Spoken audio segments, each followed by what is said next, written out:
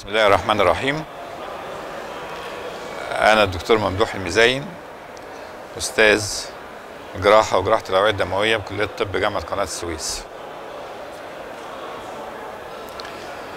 آه، أنا هكلم حضراتكم عن تغيير أسلوب الحياة بعد عمليات جراحة الأوعية الدموية. لأن اللي خلانا نعمل جراحة أوعية دموية غالبا هو أسلوب الحياة اللي إحنا عشناه. أهم حاجة في أسلوب الحياة إن إحنا ندور إيه المشاكل بتاعتنا الصحية ونعالجها كما ينبغي. يعني اللي إحنا بنشوفه دايما آه، مريض السكر. السكر عندنا مش. مش مؤلم مش مؤلم. الألم ده نعمة من ربنا سبحانه وتعالى. فعشان خاطر ينبهنا إن في حاجة غلط.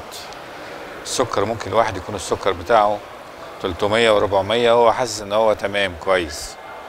لأن السكر مرض بطيء لكن مؤثر جدا ومؤذي جدا. فأول حاجة إن إحنا نشوف الأمراض اللي عندنا. السكر الضغط مهم جدا. أمراض القلب مهمة جدا فلازم آه، نتنبه لذلك بدري. سهل جدا إن إحنا نعملها.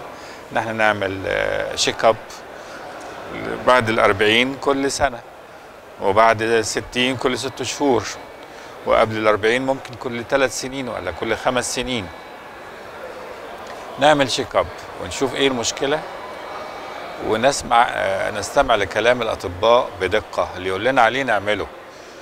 ما نحاولش إن إحنا نحط ال- الحاجة الشخصية بتاعتنا ورأينا ومزاجنا في ال- الحاجة الفلانية. يعني مثلا لازم نظبط السكر أول بأول. لازم يكون عندنا جهاز تحليل سكر ونظبطه. ما ينفعش ابدا السكر بتاعنا يبقى زيادة عن 200 الحد الأقصى بتاع السكر بتاعنا لازم يبقى 200 ده الحد الأقصى. فلازم يبقى كلنا عندنا جهاز تحليل السكر في البيت. الحاجة التانية مريض الضغط. دلوقتي من السهل جدا واحد يعدي على أي صيدلية يقيس الضغط. خليها دي حاجة عادة أسبوعية عنده. عشان الضغط بتاعنا برضو له حد أقصى. ما يزيدش عن الحد الأقصى ده اللي بيبلغنا بيه الطبيب الباطني. الحاجة الثالثه حياتنا الشخصية لازم يبقى فيها تغييرات. التغييرات الأساسية هتكون زي إيه مثلا؟ الرياضه يعني لازم نعمل في حسابنا إن إحنا نمشي ومش هقول نمشي كتير. نمشي تلت ساعة نص ساعة كل يوم. مشي مشي مشي منتظم. وبالساعة مش بالويم لأن بالويم ده مش صح. فلازم تبقى الساعة مثلا عشرة لغاية عشرة ونص وأنا بمشي. مشي منتظم. آه، دي نقطة. النقطة التانية الوزن بتاعنا لازم نظبط الوزن بتاعنا لازم نظبط أكلنا. لأن الأكل له دور كبير في الوزن. وله دور كبير قوي في إصابة الجسم بأمراض الأوعية الدموية.